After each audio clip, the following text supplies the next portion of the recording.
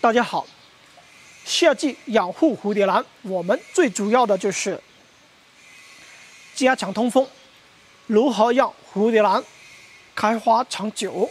接下来给大家分享，我这一棵蝴蝶兰已经开花两个月了，花色还是非常鲜艳。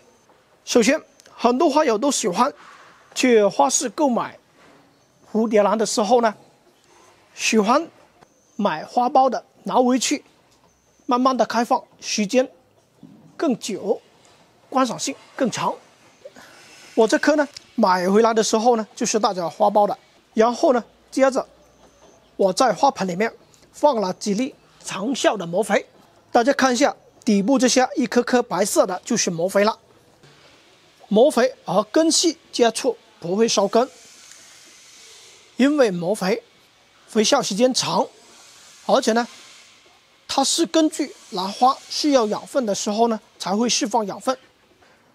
兰花根系需要养分的时候，会释放出有机酸来分解土壤中的营养。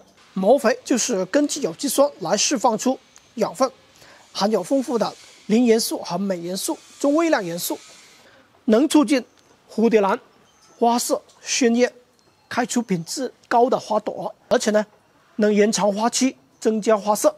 我这棵也是前段时间买回来的，用这个方法让它开花一百天。好了，喜欢蝴蝶兰的花友们，我们要想它延长花期、增加花色，买回来的时候呢，就放点魔肥。好了，再见。